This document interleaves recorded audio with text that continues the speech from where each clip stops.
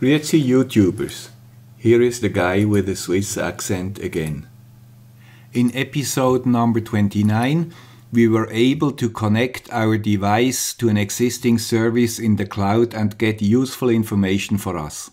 Today, we will get active and either switch something somewhere in the world or start something on our ESP8266 from somewhere in the world. How can this be done? If you connect your ESP to your home Wi-Fi, it is hopefully not easy to see it from the internet.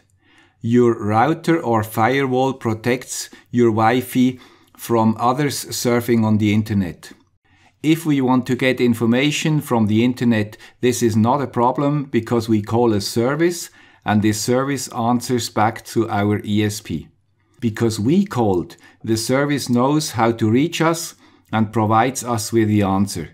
The firewall is no problem for this case. The other way around, it will not work because of our firewall. We can solve this problem, but it's not easy. One solution is to use a dynamic DNS service to make sure our address is known to the outside and in addition open particular ports on our router. This is very inconvenient and inflexible. We need a better solution. And it has to have a very small footprint to fit on our small devices. And it has to be standard that we get freedom to choose. And, of course, it has to be compatible with our beloved ESP8266. Fortunately, in 1999, IBM developed the MQTT protocol for machine to machine communication. This is a simple protocol which enables small devices to communicate. In the meanwhile, it became an ISO standard and everybody can use it freely. MQTT is based on a publish-subscribe model. What does this mean? Your device can either publish something to the world or subscribe something from anywhere as long as it is able to connect it. Think of YouTube. You either publish content on your channel as I do right now, or you subscribe to my channel as you hopefully already did. This sounds great, but does it really solve our problem? Unfortunately, no. We still have the issue that we cannot establish a connection to our device from the outside of our home network. Fortunately, this publish subscribe model has an advantage which will help us solve this issue. Let's assume we place another device which understands MQTT somewhere in the internet and publish its address. Then it is easy for our ESP to send a message to this device because its address is known to us. And this device could respond easily because it knows the path back to our ESP. So let's assume we measure the luminosity in our office and we publish it to the device in the internet. This will work without problems and the device in the internet knows always if our light is on or off. This is the publish part of the protocol. Now let's assume that you want to know if I'm working or not. Then you could subscribe to this information. This is the subscribe part of the protocol. Simple.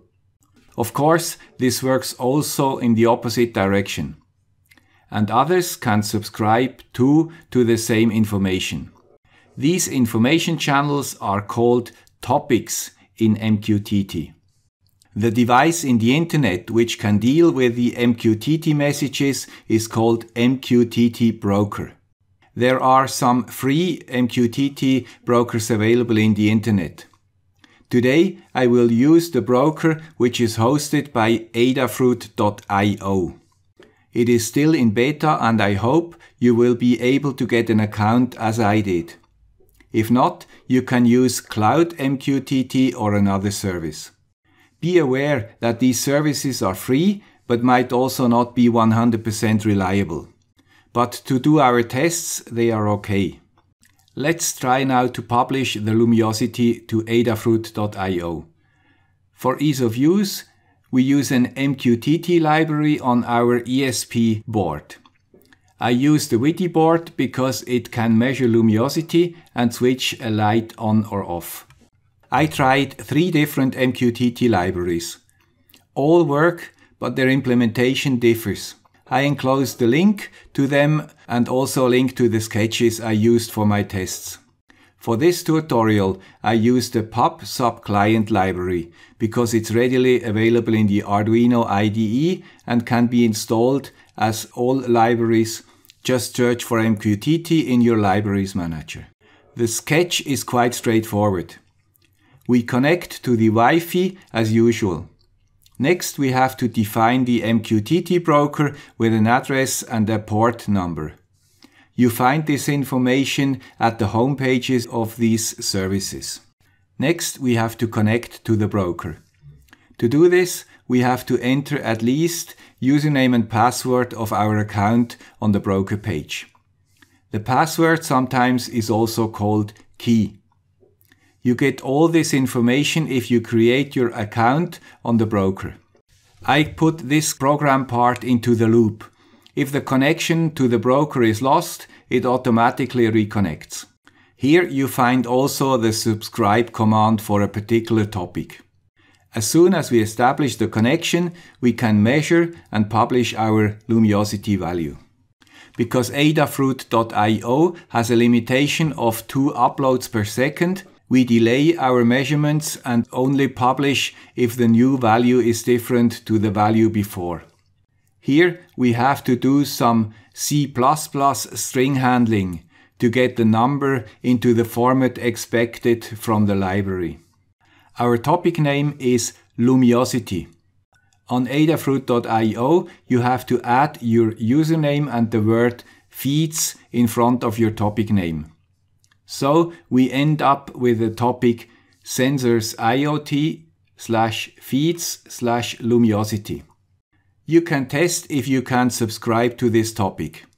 This should be possible from your account. Please leave a note in the comment if you were successful.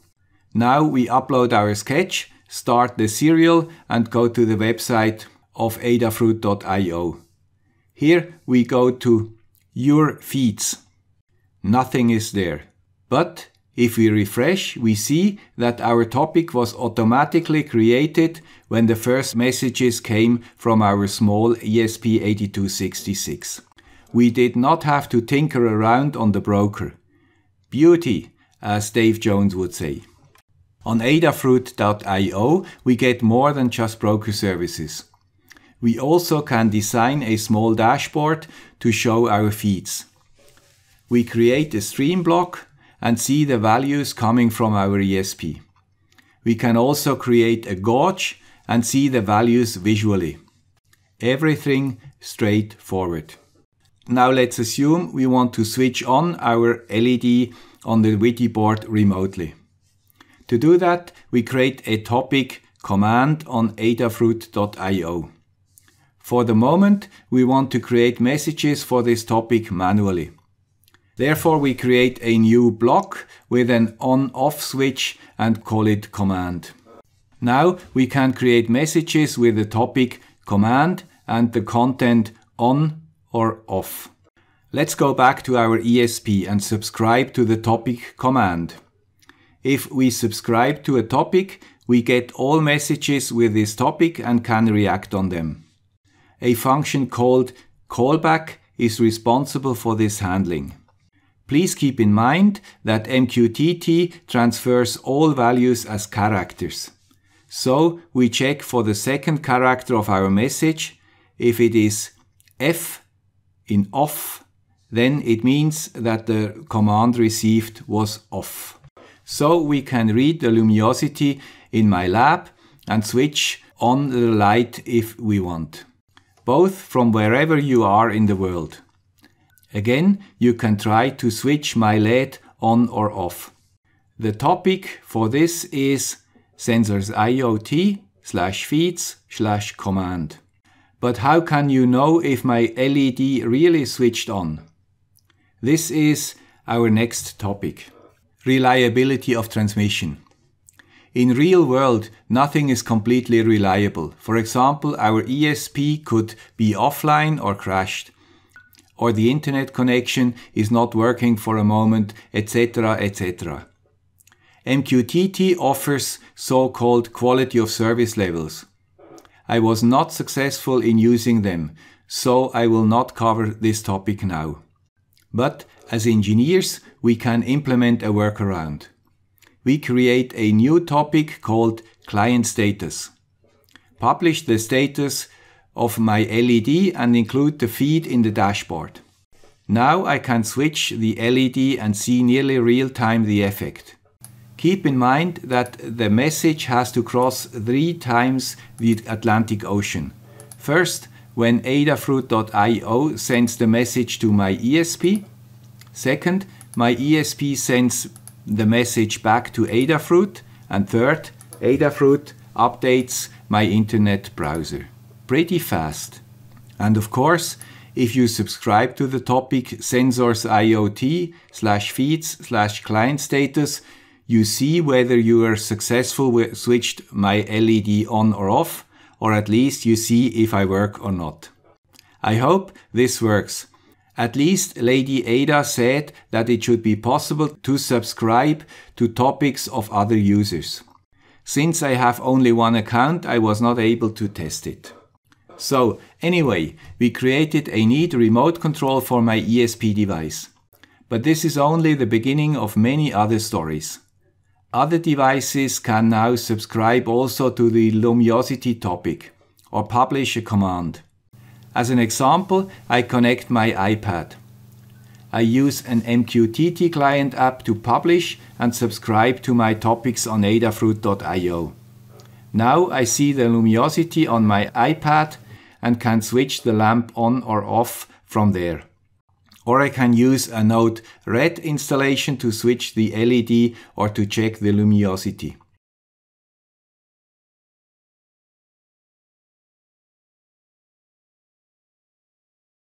Or you can connect adafruit.io to IFTT.